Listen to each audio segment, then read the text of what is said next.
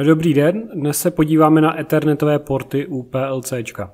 Starší PLC řady Mark měly pouze jeden port. Řada Wall nebo novější modely řady Mark už mají porty dva. Je to velice praktické a může to ušetřit switch v rozvaděči. V základním nastavení se chovají obě síťové karty stejně, všechno se posílá všem jako switch. IP adresa je společná. Pokud je chceme nastavit jinak, klikneme na naše PLC v domat IDE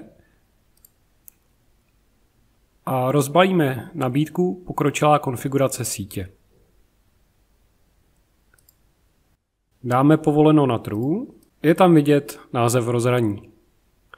ETHX2 u řady wall, toto označení najdeme i u portu na PLC. U řady Mark je to ETH1, u většiny PLC je popisek i u konektoru, výjimka jsou modely Mark MX3 a Mark MXL, kde popis není. Pozice je ale stejná jako u ostatních marků, ETH0 dole, ETH1 nahoře. Na výběr je statické nastavení adresy a DHCP. Po změně stačí nahrát konfiguraci do PLC a je to.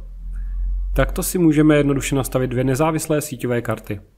Pokud PLC zapneme s aktivovaným init switchem, nastavení se vrátí do výchozího režimu a tedy obě síťovky budou mít adresu 192.168.1.10.